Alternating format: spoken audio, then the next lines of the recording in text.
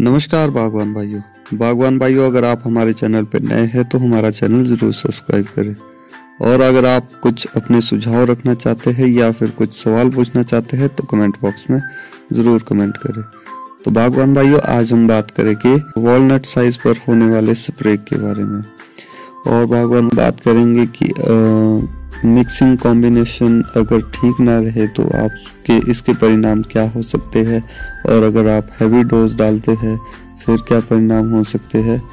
और या फिर अगर आप दिन को यानी धूप में हाई टेम्परेचर में स्प्रे करेंगे तो इसके क्या परिणाम हो सकते हैं? तो बागवान भाइयों, पहले बात करते हैं हम वॉलनट साइज़ जब आपके सेब का दाना हो जाएगा तो उस टाइम किस, कौन सी स्प्रे करें? तो बागवान भाइयों, आपको बेबिस्टीन डालना है और साथ में इंडोफिल यानी डाइथेन डालना है और कैल्शियम प्लस बोरोन।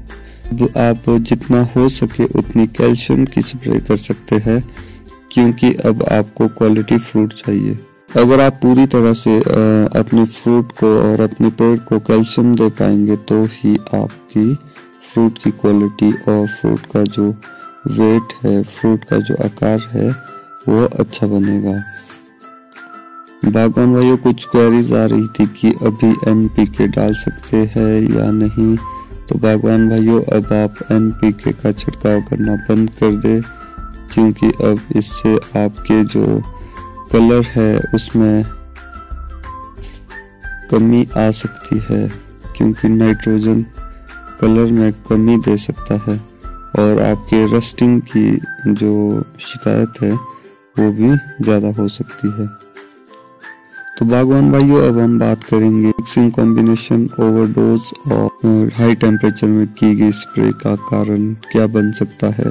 क्योंकि मुझे एक क्वेरी आई थी बागवान भाइयों, और ये जो आप देख पा रहे हैं पिक में, इसमें इस जो, ये जो बागवान है मतलब हर जितने भी पेड़ है, सब में यही प्रॉब्लम आ रही है। तो ये बागवान भाइयों, या तो ओवरडोज है या फिर मिक्सिंग कॉम्बिनेशन में कोई दिक्कत है।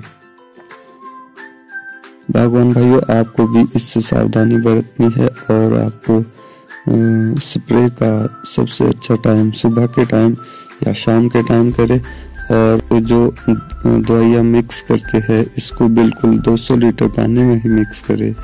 कम, पानी को ज़्यादा या कम ना रखें। बिल्कुल डोज बराबर दे जितनी रिकमेंडेड होती है। एक्स्ट्रा डोज के कारण भी आपके जो पेड़ में क्षति हो सकती है वो ड्रॉप हो सकता है। तो बागवान भाइयों आज के लिए इतना ही काफ़ी था। अगर आपको ये वीडियो पसंद आई है तो प्लीज़ लाइक करें। और अगर आप, आप हमारे चैनल पर नए हैं तो प्लीज़ सब्सक्राइब करें।